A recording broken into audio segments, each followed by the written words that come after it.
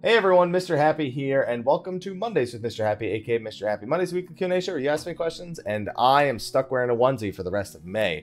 Uh, I figure I might as well get that explanation done right off the bat. Only reason I'm wearing this thing is because over on Twitch, I had set goals for the month of May. I was partnered on Twitch for four months on May 23rd, and as such, I have to wear one of these things for the entire month. Uh, not just wear it like casually, but I have a couple of them and I can swap between them occasionally. So that's why I'm wearing this thing right now. I had to go out and buy a, an extra one just because of that over on May.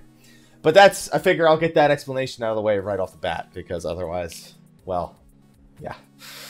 So without that, anyway, we have Final Fantasy 14 patch 4.3 confirmed for May 22nd. We have Dauntless Open Beta confirmed for May 24th. We have Bless's closed beta. I'll be playing that on the 28th. And then on top of that, we have finally Ultimate on June 5th. So uh, next few weeks are going to be pretty busy. Uh, Maple Story 2, I got to play that closed beta. That wipes on May 16th, so I don't want to put too much more time into that before the uh, before the closed beta wipe. So it's going to be busy month coming up, and uh, I'm looking forward to it, especially 4.3. It's always good to have like a bunch of very clear directions on what videos I'm going to be doing for a set period of time. But anyway, we got uh, about 11 questions on the forums, and then we'll take some questions from the Twitch chat, which hopefully are pretty good this week. Then we'll do our, our uh, patron, our sponsor shout-outs towards the end, and then we'll, uh, we'll call it a Q&A. So maybe it'll be longer than last week's. Let's find out. All right, question number one over on the forums. Hey, Mr. H, how you doing? I don't know why when you say Mr. H, I just I immediately hear Mr. J. Anyway, to improve your week, have a bonus of your favorite burger from your favorite burger joint. Nom nom. I don't know what my favorite burger from my favorite burger joint even would be. I've had so many good burgers since like moving out of New Jersey. But I don't know. I'll just just all of the best ones. How about that? There was a question last week about Glasya, Labolas, and Syrcus Tower and what his mechanics were. My question is thus: Will dungeons and raids in the roulettes be changed so we can't kill them without having to mechanic, or they be left as they are? What do you prefer? Just leave them as they are. It's not worth the development time. And yes, it would take development time to ensure that you they are balanced in such a way where you have to do mechanics. Keep in mind, unless they're going to hard stop their HP and then make you do something, the only other way to do it is to balance the kill speed around that. And guess what? When the next expansion comes out, we get new job changes and the lower level stuff doesn't work the same way as it did before, then you got to do it again. And it's a constant upkeep of trying to make sure that it works that way. What I would say is that I think going forward, they need to stop designing uh, dungeon bosses with these huge breaks in between what their actual skill usages are. I mean, you have just some bosses that like will do in a dungeon, they'll do a mechanic and then they don't really do anything of importance for like another 20 seconds. Like speed up the rate at which they actually go through all their intended mechanics. That way you're guaranteed to see them at least by the time the boss is dead you know, you're not going to be getting towards the end. Another big example is the fact that with Ultima Weapon in, uh, or the Ultima Warrior in, uh, in Fractal Hard Mode, like you, sometimes I don't even see past the ver the first mechanic he selects, but at least it's a random mechanic and I'll see the one whole thing. So uh, I don't know. I there, I don't think it's worth going back and doing anything to adjust that because it's way more effort than it's worth. But I think going forward, they may want to look at the way they design bosses like that and maybe just not delay certain mechanics. Or maybe make mechanics, at least the, the primary mechanics like Glasya's big ads, be more focused on when you hit a certain HP threshold and less about uh, how much time has actually happened during the encounter. Question number two, Sup Haps? Yo, so 4.3 in the way. Fear it'll be same old, same. Oh, this is a this is always a wonderful question. I love Heaven's Heavensward. It feels a vast improvement over Realm Reborn. With Stormblood, it's turning out to be a carbon copy of Heaven's Heavensward. I like the quality of Stormblood gave us, the direction, but some of the other content, PvP, raid, story, and relic weapons, has had a negative progression in my opinion. In his opinion, not saying it outright. I appreciate that, by the way. I know it's too soon to speculate, but I strongly hope the next expansion is the same. What do you think about Square Enix's current roadmap and the remaining patches? So, I'll, I mean, I'm just gonna say this. I don't know Heavensward was basically the same exact thing. And I don't mean the same exact thing as Stormblood. I mean, it was the same exact thing as A Realm Reborn. They added a few new things. Stormblood's been that. Now it's the exact same as Heavensward, plus they've added some new things. People were complaining that the Relic Quest didn't have its own unique zone or story, or, or, well, it did, but not much of it. It didn't have its own unique content. Basically, it was only recycled old content. So what did they do? They made Eureka, which was its own content, even if somewhat repetitive. Let's be honest, the Relic Quest have been nothing but that this entire time, and the expectation to change that was probably unlikely. PvP, I completely agree. I don't even PvP, but I've seen some of the changes from the outside. I think they need to go back to the drawing board a little bit on that one. Raid, other than not being a big fan of Omega just basically being a tournament arc, uh, I've been really happy with the raid, and the 24 man has also started off incredibly strong. Story, I don't know. I've liked Stormblood story. I've, I'm one of those people that's preferred Stormblood story over Heavensward, although there's moments that, for me, in 3.0 story in particular, I think shined a little bit more. Uh, I've overall preferred Stormblood story thus far, especially the way that it's managed to progress. 4.1 for me was one of the better non, I guess, uh, not major major story patches, like a, at least a 0.1 patch story wise. So I don't know. I, I like you said, it was in your opinion, so I disagree with a lot of that stuff, but Again, I feel Stormblood has just been, while it's been Heavensward, it's been quality of life on Heavensward. It's been new stuff, new takes on things. And now we'll see, you know, the changes that they've made with Heaven on High. They took Deep Dungeon, was successful, make changes to the new one, make it accessible to higher levels, and then also change the formula a little bit so that way people can access the more hardcore aspect of it, of the higher tier floors, without having to uh, spend as much time. I'd say that's been the number one thing about Stormblood. Stormblood seems to respect people's time, so much so to the point where those people who are like me, who dedicate way too much time to getting shit done, uh, as fast as possible, where we will get it done so much faster than before, just because it's so quality of life that you can get through it without being someone who plays like 15, 20 hours a day, it does any of that shit, you know? So that might be the biggest thing that's affecting Stormblood and uh, a lot of people's feeling about the longevity of it.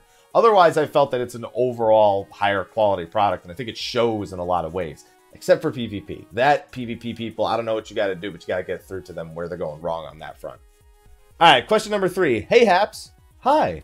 Two questions if you got time. Well, it's the third question, so I only won't know if I don't have time until like the later questions, but I have time, so you good. Question number one: What's your opinion on super grindy achievements? I so I think I actually touched on this in a recent video when they were talking about quality of life updates. I think having super grindy achievements is perfectly fine.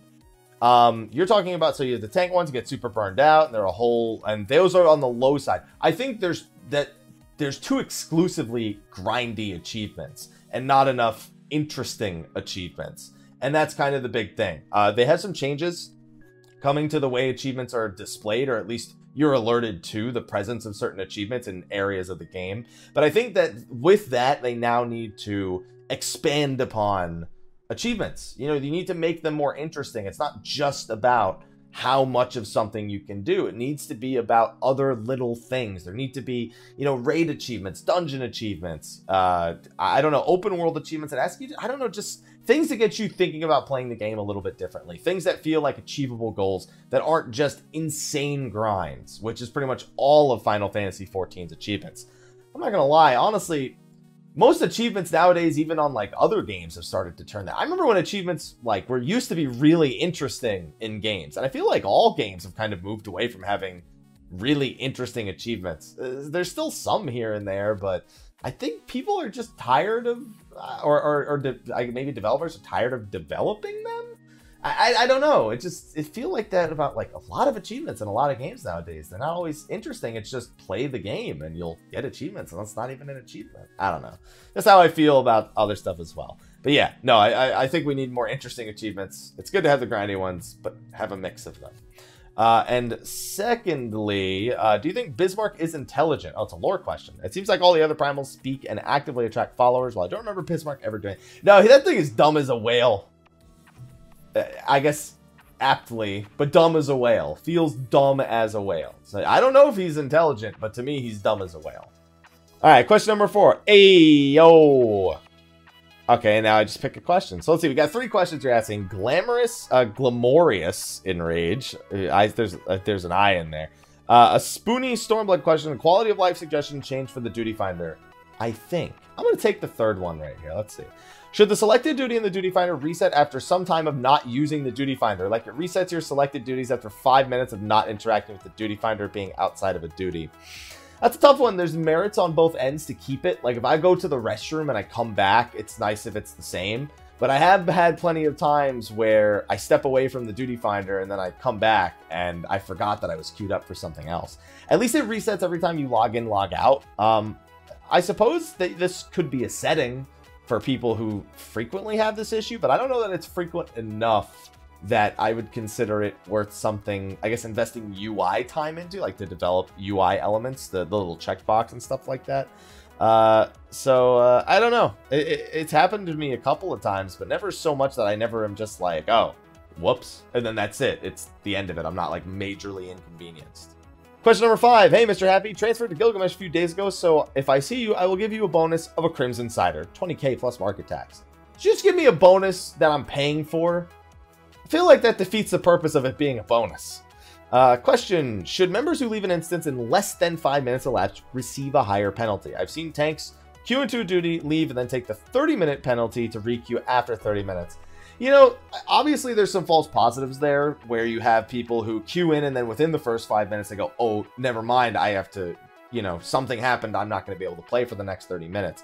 But I think the vast majority of people who do leave in the first five minutes are people abusing the system or just like saying, ah, fuck this instance, I'll just requeue. So it's something that could be worth exploring.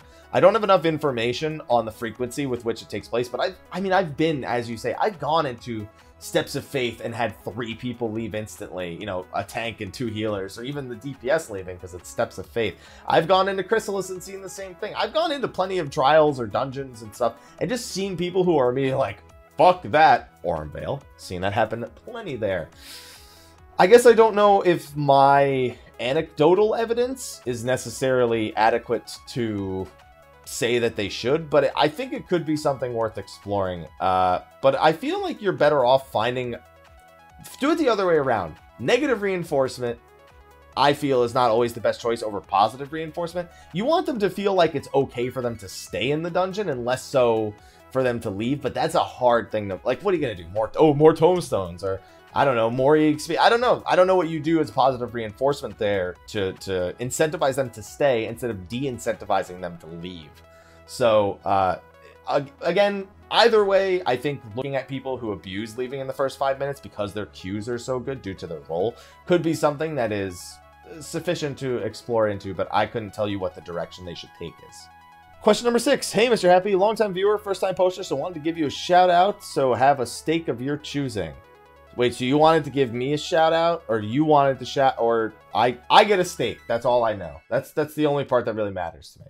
Uh, I'm not into the rating scene, but recently I joined a few learning groups for 05 and 06 to pass the time. I got my 05 Savage clearing about five weeks ago, and about 06 Savage two weeks ago. These things being my first Savage clears and casually farming them once a week for weekly drops. Cleared Shinryu Extreme last night as well. Uh, and I really love the fight. Been super excited and want to tell one of my favorite streamers about it. But what I wanted to ask you is your opinion on this. Uh, I've had these friends for Final Fantasy XI, seems like forever since we've been close as a family. Well, recently six of them transferred to another server and I hosted a farewell party. Another one of our friends took offense to this and started jumping down my throat and said it was his responsibility to do the part. This sounds like some dumb high school man-baby bullshit that I'm about to read.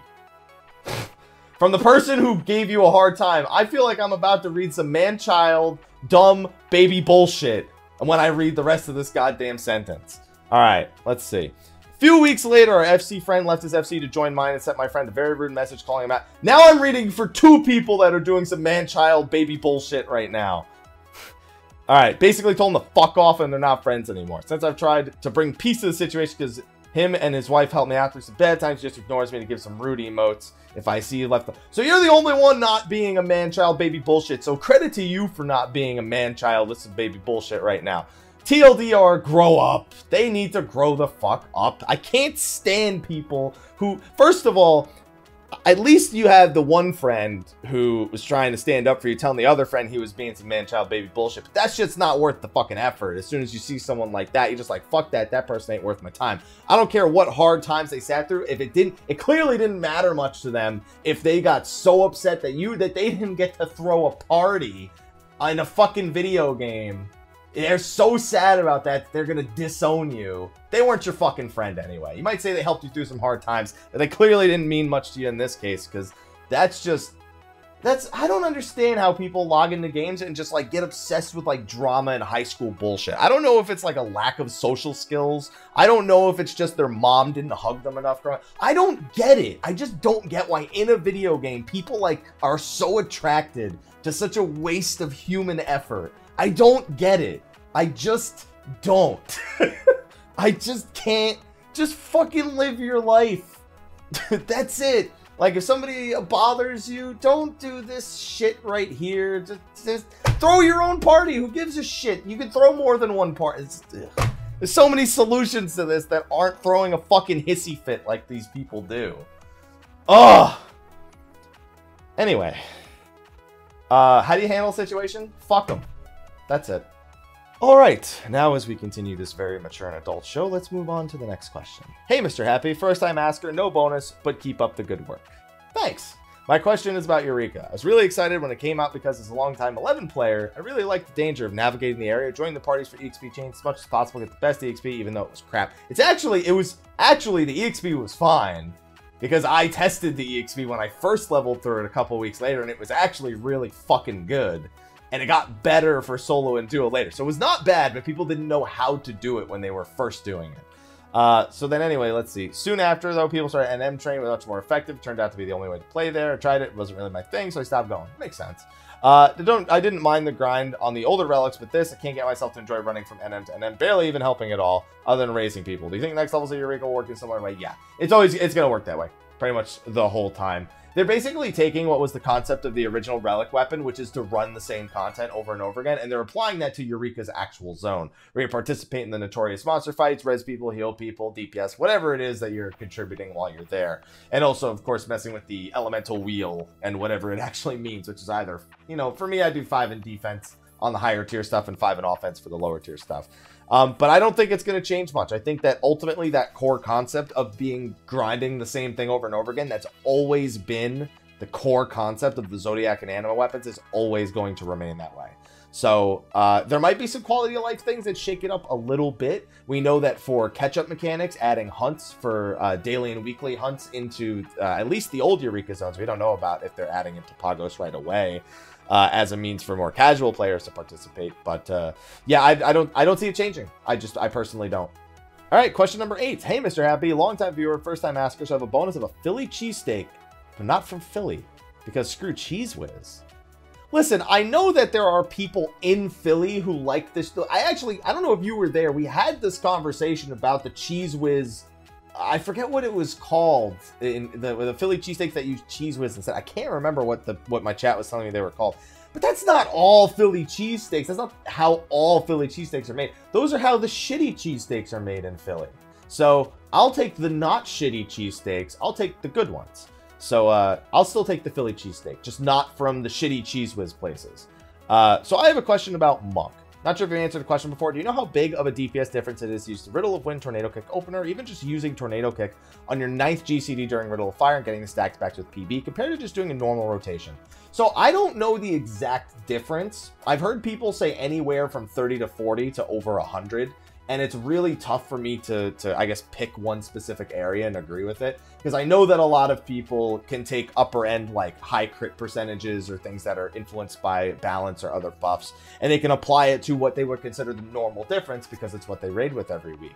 Um, yeah, so you say it right here. I've seen people claim it's as much as 200 or 40. It really depends. I'd say if you probably have no outside assistance, if you don't, if you take I guess, average crit variance into it without a higher end crit variance, especially without stacking damage buffs and whatnot. Uh, it's going to come down to being about the difference is anywhere between 40 and 200. Uh, but it is an improvement. I think that is the key thing to take away from it. As much as it may not necessarily be the smoothest thing to always use, at the very least, it is now an excuse to use Tornado Kick, which is something a lot of people were looking for and a lot of people like me were not looking for because the idea seems so ass backwards. But with PB on a 60 second cooldown now, I suppose I don't really mind all that much. Uh, I myself have barely had time to really log in and just practice the muscle memory for it. So I try it on occasion. Whatever. I've got two 98% parses and 88. And my Kefka is just shit because I just every week I think I'm going to do okay. Then I risk it and I lose it all. Thank you, Trines. Thank you. Thank you so much. Regardless, uh, I'd say that you're on pace. I'd say that those numbers that the between 40 and 200 is accurate. Just depends on stacking damage plus crit variance, direct hit variance, stuff like that. All right, question number nine. Yo, Haparoo. Finger pistols. A. A. A personal question, if I may. I'll have to answer if you don't want to. In some glass, in some videos, you're wearing glasses, and some you are not. Why is that? Also, why is there a yellow tint? Are you somewhat colorblind? Somewhat. That's underplaying it by a shit ton. Uh, these are gunners. I got these back when I worked in New York City before I was a streamer. I watched, I was, I had been watching streams for a while now, so I had seen them. Uh, a lot of the esports people wearing them. Basically, the tint is to protect from the uh, the light that comes off the monitors to protect my eyes. Basically, they're eye health glasses at the very least. Um, they're cheap. You can buy. There's tons of different brands now. Back then, really, Gunners was the only one that I had known about. There's tons of them now that you can look for out there. There's prescription ones if you're someone who needs, you know, the assisted eyesight on top of wanting to block the rays. And on top of that, there's programs like F.Lux, which you can download, which will help reduce the uh, the harmful the harmful light coming from the monitors themselves. So I just have them because I used to work in New York City, and when I did, I was internal tech support. So I'm looking at 15 to 20 different computers a day, and I wasn't going to download F.Lux on all of them. So it was easier to just walk over to Best Buy and grab a pair of these than to do the other. As for colorblind glasses, since I'm sure the question will come up either next week or some other point, yes, I've heard of the colorblind glasses. Yes, they do work, but they don't work for me. The only reason why I say that is because I have so many different forms of colorblindness, or the form that I have is so not just, it's not like a simple, hey, there are these two colors that screw me over. I need, I see things in shades which means that if, if the shades are too similar, I can't separate them. A blue and a purple can look the same. Yellow on white paper, green and brown, green and red. Like, I can get fucked by anything if the shades are close enough to each other. So, uh, that's why I use these and I don't switch over to, like, colorblind glasses or anything. Question number 10. Sup, Haps? Sup. So it would take like six months to redesign Dark Knight from the last live letter. And the first FanFest is six months away. Would they redesign it for 5.0? I mean, jobs always get massive changes going into expansions. I know massive is uh, is a bit of an overstatement. Some jobs get what feel like fewer changes. Other jobs get more like huge overhauls, like uh, like Bard did, for example. Um, that being said, we don't know when they said it would take at least six months. We don't know that they hadn't started it yet. We don't know that this wasn't something that they could do that's along the lines of 2.1 Warrior or even 4.2 Warrior. Uh, so will they wait till 5.0? I think they will for Dark Knight. I think they'll just give them stuff to make them feel a little bit better now and then worry about Dark Knight as a whole going into the next expansion, taking the feedback properly. Um, instead of actually releasing it around 4.4 timing. Uh, I, I, would be happy to be wrong here. They've uh, clearly they've read the feedback. They've analyzed it. They've they've discussed how long it would take. That's good. That means that they've taken all that information and that feedback to that point, which is a good thing because it gives them a better direction going forward. And here's the thing, if they decide that it's going to wait till 5.0, they have more than 6 months to actually work on it. They're a little bit ahead of themselves on that front. So overall, I thought the statement was a good thing, even if it meant that Dark Knight's not going to be getting substantial changes now. Changing what was it eight abilities and that but the things they listed i mean that should still at least improve the quality of life of the job itself for the time being. All right and the last question on the forums hey uh, mr says gaps but i know you meant haps. They're right next to each other on the keyboard. How you doing? You doing all right? I'm doing i'm doing all right. You doing all right? I'm doing all right uh, got two questions. One, do you think we'll be able to use Heaven on High to level up our lower level jobs? So lower level means 61 plus. This will be your role free means of, of, of leveling a job from 61 to 70. Uh, it's not going to be something you'll use from like 1 to 60. You'll still Palace of the Dead for that, but Heaven on High will take over once you get from 61 to 70. Will it be the fastest way? I, I couldn't say, but the fact that DPS won't have to worry about role restrictions for queuing in is going to be a huge quality of life thing once 4.35 rolls around. And question number two, what games are you hoping to see at E3? Thanks for taking the time to answer my questions. Have a gift of running Ultima Ultimate. Dude, I got to beat that in like a timely manner this time. So what games am I hoping to see at E3? Uh, you know what? There's there's games I want to see and there's games that I expect to see. I really, uh, there's rumors of a Devil May Cry 5, not DMC Devil May Cry, the one they remade, like Dante, the OG Dante returning to form in a Devil May Cry 5. There's rumors of that, and that I really want to happen. Um, I actually was okay with DMC Devil May Cry because at least gameplay wise, it, it, it, it, you know, took care of my Devil May Cry itch. But um, if the I would love a Devil May Cry 5 with the OG Dante. I would love it. I just want more Devil May Cry games, to be honest. I just I love the series. It's one of my favorites of all time, even if it's you know not necessarily the most. Uh, I guess what's the word I'm looking for? I don't know. It's it's not exactly something that matches everything else you see me play, but I love Devil May Cry. So that would be a big one. What else would I hope to see? Uh, Kingdom Hearts 3 I expect to see. Um, they dispelled the rumors of announcing a release date around E3, but I'm still kind of, you know, holding out to see if they do. 7 Remake, I don't expect anything to hear about. Um, maybe more on Octopath, which is due out in July 13th. Uh, I want to see more on the Spider-Man game. One big thing with Square Enix, I want to hear more about that Avengers, the Avengers games they were working on. Uh, that they think they had to, they had to take, I think, Eidos and put them on the Avengers games, and they had to take the team that was working on. I don't remember. All I know is they swapped around the Tomb Raider, Deus Ex, and uh, and then move them between each other, and then also put some of them on the Avengers title. Uh, so I don't, I don't know. Uh, other than that, is there anything else I'm really expecting? Mm, Death Stranding, maybe something more than a friggin' trailer for once. That other title that Square Enix is working on, the the the one where they had the the guy who does the art for for Metal Gear. I can't remember the name of that game. It's just been so long since I've heard about it. Last of Us 2 is another one. Uh, mm, there's more. Not Kojima, the artist. The artist, not Kojima. Uh, Life is Strange season two. There's there's something that I'm thinking of that I can't remember right now. There's I think this will be 50-50 E3. I, I I don't expect anything crazy, but I do expect some exciting things, stuff that I'm not expecting. Uh, obviously, if I'm expecting the unexpected, Left Alive was the name of the one I was that I was thinking of earlier. That's one that I'm also I'm also expecting something on. But uh, I don't know. I'm I I'm gonna be there. That's all I know. Shenmue three, dude. I'm looking forward to Shenmue three. Uh, Code Vein news. That's that's one that I was thinking of. That's a big one that I was thinking of. More news on Code Vein. Uh, yeah. So there's there's a lot of titles actually. So um, just a lot of follow up on stuff that we already kind of know is in the works or exists or stuff. Also, oh, the big one. More about that From Software game that they revealed last year, uh, where everyone wasn't sure if it was Bloodborne 2 or if it was a continuation of that other series that uh, that they've worked on before. Um, I, I don't remember the name of the series, but that one, the the the From Software title from that they that they showed like 20 seconds of um last year that everybody was just like, oh, that's gotta be Bloodborne 2, and then what they thought it was something else. I don't know. Whatever it is, that's a big one. I want I want more of that. So that's gonna be the big one for me. But anyway, that's gonna be a wrap for the questions over on the forums. Let's see if any of the Twitch chat has any decent questions. Then I need to get some lunch, and as you can hear, voice getting a little hoarse, so I could definitely use something to drink as well. Twitch chat, what do you got for me? All right, first question from the Twitch chat, and it's a very Twitch-focused question. This is for the chat, with you celebrating four years of being partnered on Twitch. What are some of your favorite moments in the last four years? Oh, man. Um, four years is a lot of time to pick favorite moments from.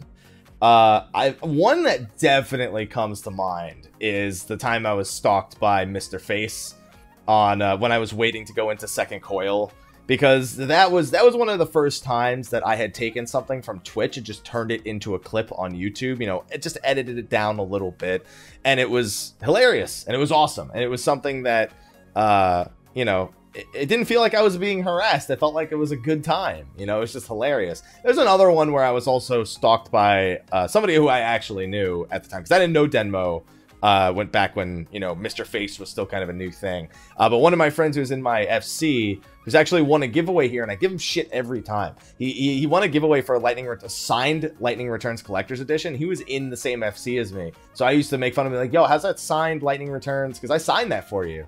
You know, I signed it. I signed it for you, and he's just like please don't remind me that I have this. And I was like, yeah, you better still have it. But he stalked me on uh on like with like a fat chocobo suit on, kind of in the same way that uh, what's his face, the Mr. Face did.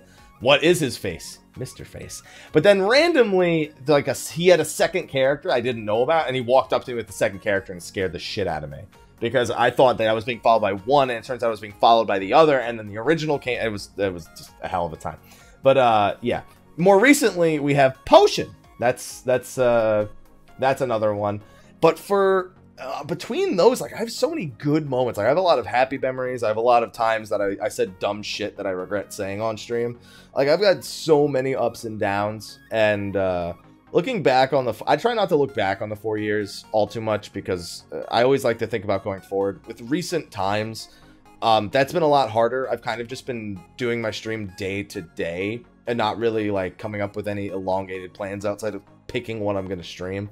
It's been, uh, I've, I felt a bit like my growth on Twitch is stunted because of it. And, you know, I kind of knew that was going to happen when I came back a couple months ago.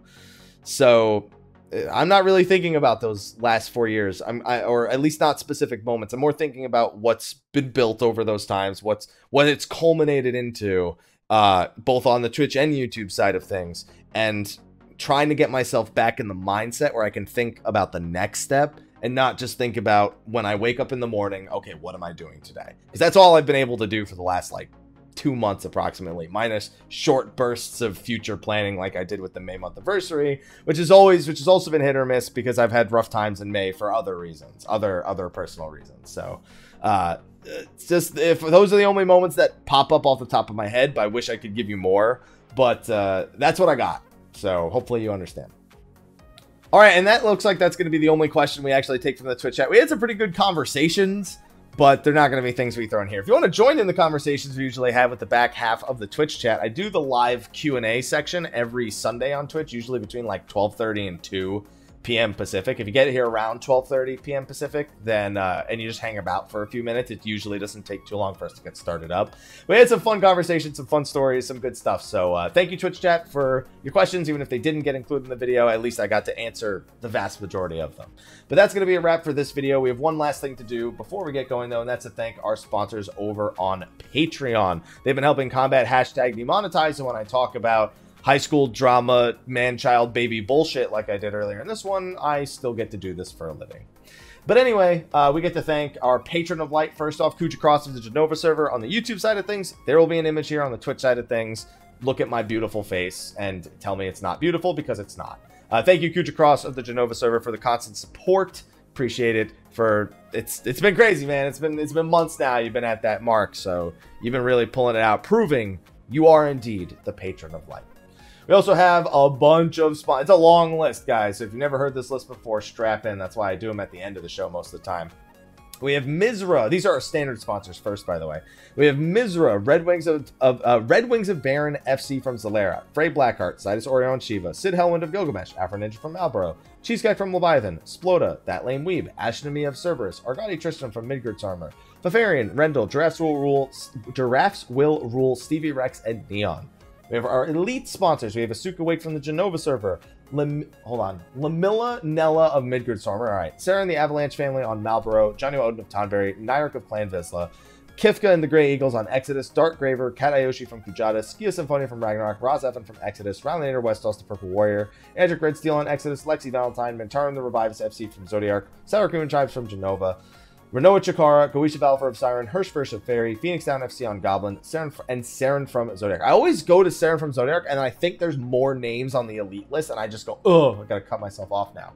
Then we have our premium sponsors. We have Dat Neko, Diablo, Holy Tabasco, Red Thorn Asura, Kernai Oni, Askin Hawk, Oscar, Crass015, Mustang, and Serenity FC on Ultros, Kat Kazuma, Serial Kira, and the Reckless Tea Party on Cactuar, Ignis Fairgun from Diablo, Celestia Fanfrit, Not Quarters from Excalibur, Corvus Moonscar, Private Mikey, Spike, Nadia Kirasami, Rudy Rudiger, Ten Colossus, Killer Hackman, Rawl Jr., Ramil Gaming, and Killtastic Jones. Woo! Okay. Now, before I lose my voice or before I just injure my throat from not being hydrated enough, I think we can wrap up this video. If you have questions for next week, either tune in at those times I told you earlier or ask your questions in the Dream Network forums in the description of the video. Real quick, drop a question there. We've had plenty of first timers, plenty of repeat questions. Feel free to drop them in. But anyway, that's going to be a wrap on the Twitch, on the YouTube side of things. Twitch, I'm going to hang out for a few more minutes. So YouTube, thank you for watching. I'll see you next time. And until then, take care.